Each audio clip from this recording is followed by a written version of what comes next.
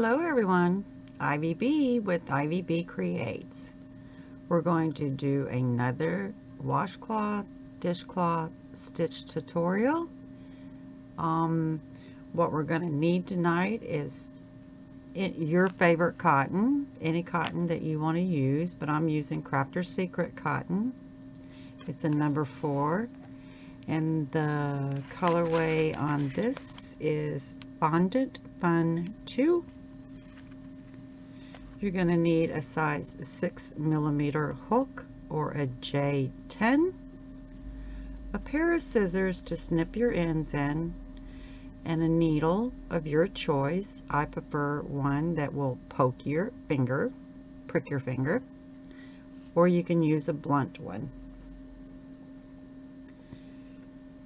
And the washcloth that we're going to do tonight, or the stitch tutorial to create it, is front loop single crochet washcloth.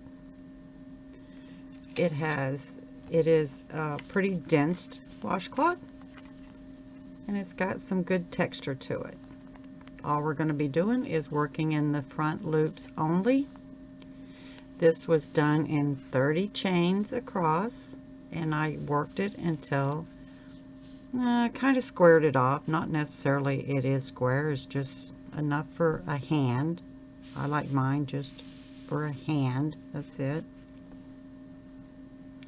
And then on the end, I did a front loop, um, sorry, a slip stitch across going into both uh, loops. So if you want to learn this stitch, grab your materials and come along. Let's go. Alright, let's get this tutorial going. So this stitch tutorial is any number of stitches. So I am going to put a slip knot on my hook. And I'm not going to do the entire uh, washcloth with you. I'm going to do about 10 stitches so let's put 10 on 10 chains. A chain is yarn over, pull through, yarn over, pull through, yarn over, pull through. And we're going to continue doing that until you have 10 or my washcloth was done in 30 chains. But to practice this, just put 10 chains, one, two, three, four, five, six, seven, eight, nine, ten, and we're going to add one more because we're doing a single crochet row. Okay, we are going to work a single crochet in the second chain from the hook. The loop on our hook does not count as a chain. Our chains are here, so here's one, there's two, and we're going to put a single crochet into that chain. So there's one, two, a single crochet is into the stitch or chain, draw up a loop, pull through, yarn over, and go through two. Let's do that again. Into the stitch, draw up a loop, pull through, yarn over, go through two into the stitch, yarn over, pull through, yarn over, pull through two. And we will do that all the way down here to the first chain. So let's continue doing single crochets to the very first chain.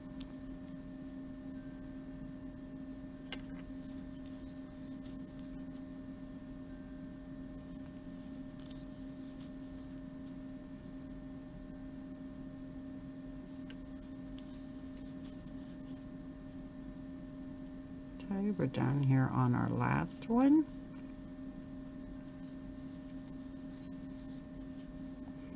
And this stitched uh, pattern is pretty basic.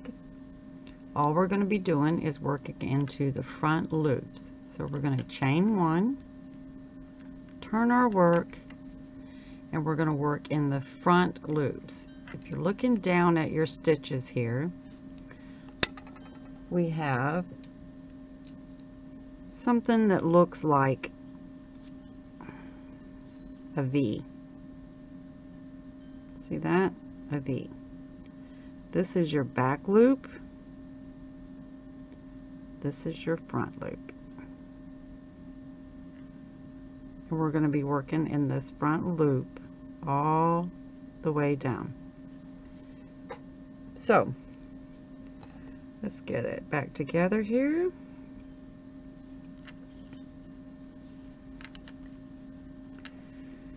So we did our chain one and we're going to work in the front loop of the very first stitch.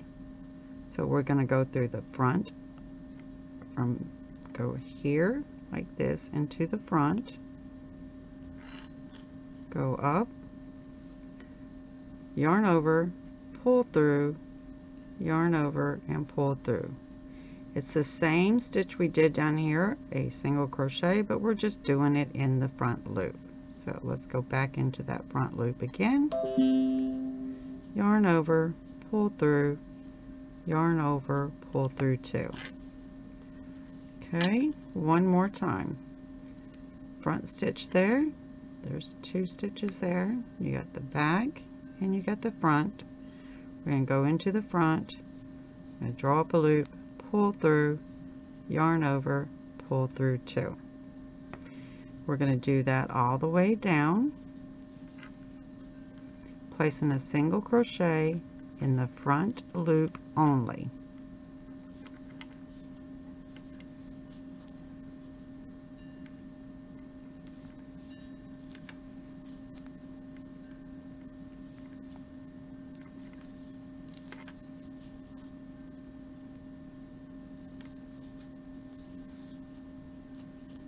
Okay, we're on the very last one. We're going to place a single crochet in the front loop only.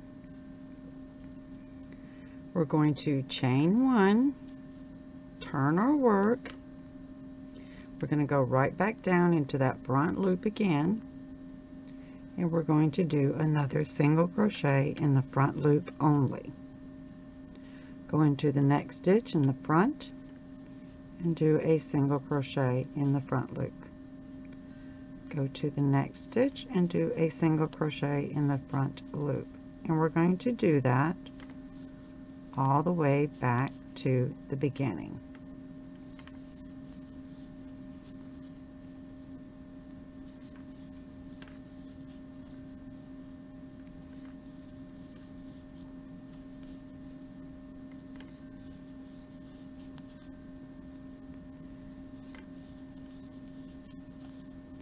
So here we are in the last one. Let's do a single crochet in the front loop.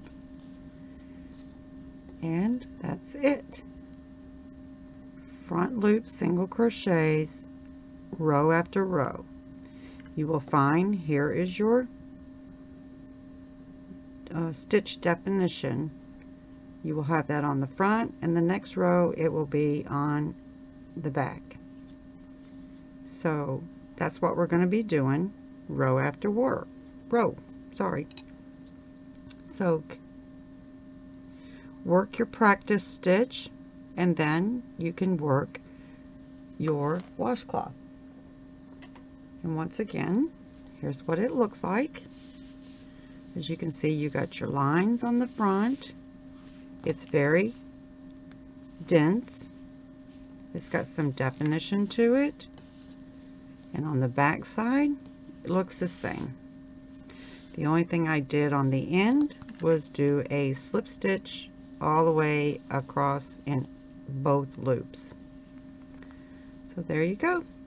You have a front loop single crochet washcloth. Thank you for watching